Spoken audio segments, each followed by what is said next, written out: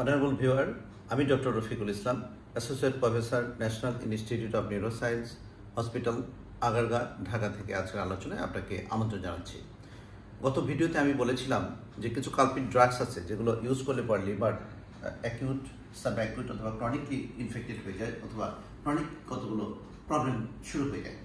তো আজকে আমার বলবার উদ্দেশ্য হলো যে এই যে অসুস্থ হয়ে গেল লিভার ইনজিউরু ইনজুরি হয়ে গেল, তাহলে লিভার ইনজুরি হয়ে গেলে কি কি হয়ে যায়? কীভাবে বুঝবেন আপনি যে লিভার ইনজুরি হলো? অথবা আপনার লিভারে আপনি আক্রান্ত হয়ে গেলেন, অথবা ওই ড্রক্সির ডাকগুলো আপনাকে অ্যাফেক্ট করল।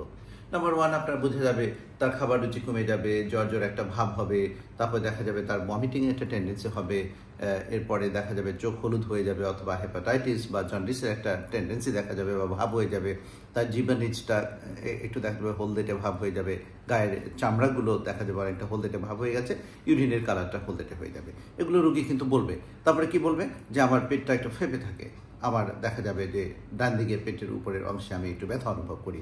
তার মানে কি হলো? তার লিভারটা একটু ইনফেক্টেড হয়ে গেছে অথবা লিভারে একটা টক্সিক ইফেক্ট দেখা গেছে। তার জন্য তার লিভারে একটা টেন্ডারনেস দেখা যাচ্ছে। এগুলো কিন্তু বোঝা গেল। এরপরে কি দেখা যাবে? তার কখনো ভমিটিং হয়ে যেতে পারে, যদি আরও খারাপের দিকে চলে যায়।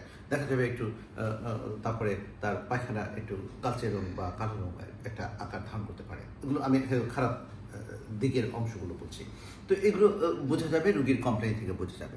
ডক্টর যদি এই রুগীকে কিছু ইনভেস্টিগেশন করে, তাহলে কি বোঝাবে? দেখা যাবে তার লিভার ডিসফাংশন শুরু হয়ে গেছে, তার লিভার এনজাইমগুলো বেড়ে গেছে, তার সেরাম বিলিরুবিন বেড়ে গেছে, তার প্রথমে টাইম বেড়ে গেছে, তার এজিপিটি এজিওটি লেভেলগুলো বেড়ে যাবে এবং দেখা যাবে তাকে একটা আলট্রাসাউন্ড করলে পরে তা বোঝা যাবে তার লিভারে কিছু প্রবলেম দেখা গেছে।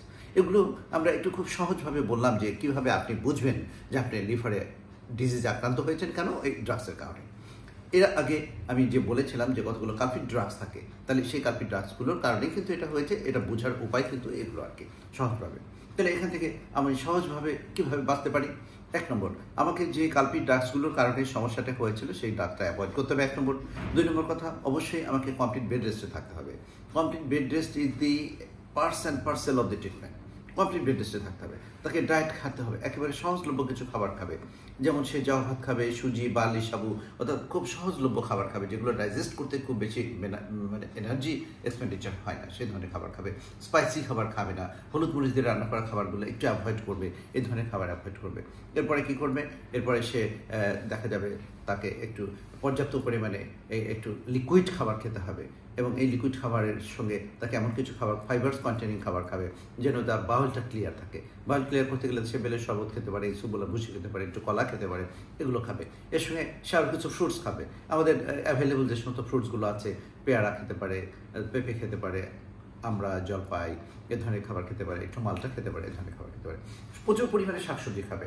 শাকসবজি খেলে কী হবে? তার যে এক্সিস্টিং প্রবলেমটা ছিল সেটুকু যেমন চলে যাবে এবং এখন যে সমস্যাটা হয়েছে সেগুলোকে রিজেনারেশন করতে মানে হেপাটিক সেল রিজেনারেশন করতে কিছু হেল্প করতে পারে। যেমন ধরুন আমাদের একেবারে ঘরের পাশেই লাউ শাক, পুঁই শাক, পালং শাক, চাল কুমড়া, মিষ্টি কুমড়া, এই ধরনের যে সমস্ত সবজিগুলো পাওয়া যায় বা শাকগুলো পাওয়া যায়, সেগুলো সে প্লেন্টি পরিমাণে খাবে। ওষুধের ব্যাপারে এখানে তেমন কোনো অ্যান্টিডোট বা এই ধরনের কোনো স্পেসিফিক ওষুধ দিয়ে এই রোগটাকে ভালো করা যায় না। এতক্ষণ যা বললাম তার সঙ্গে কী করবে? এর সঙ্গে সে অবশ্যই একজন ডক্টরের পরামর্শ নেবে, একজন হেপাটোলজিস্ট হিসেবে দেখাবে, একজন মেডিসিন স্পেশালিস্ট হিসেবে দেখাবে। তার সঙ্গে সে আলাপ করে আরও যদি কোনো তার এক্সিস্টিং কোনো প্রবলেম থাকে তাকে সেগুলোকে সমাধান করবে এবং এখানে যদি কোনো কমপ্লিকেশন বেশি পরিমাণে অ্যারাইজ করে থাকে, সেখানকার জন্য আর যদি কোনো কিছু ট্রিটমেন্টের প্রয়োজন থাকে, সে তাহলে সেই ব্যাপারটা সূক্ষ্মভাবে সে অ্যাপ্লাই করবে। অনারেবল ভিভার আজকের আলোচনা আমি এখানে শেষ করব।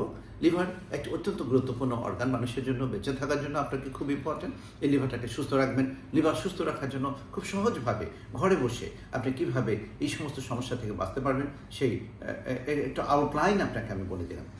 আমার সঙ্গে যদি আপনি যোগাযোগ করতে চান, আমার ফেসবুক ইউটিউব পেজে যে কোনো জায়গায় আমার সাথে আপনি কানেক্ট হতে পারবেন। আমার ফোন নম্বর দেওয়া আছে, আমার সাথে সরাসরি যোগাযোগ করতে পারবেন।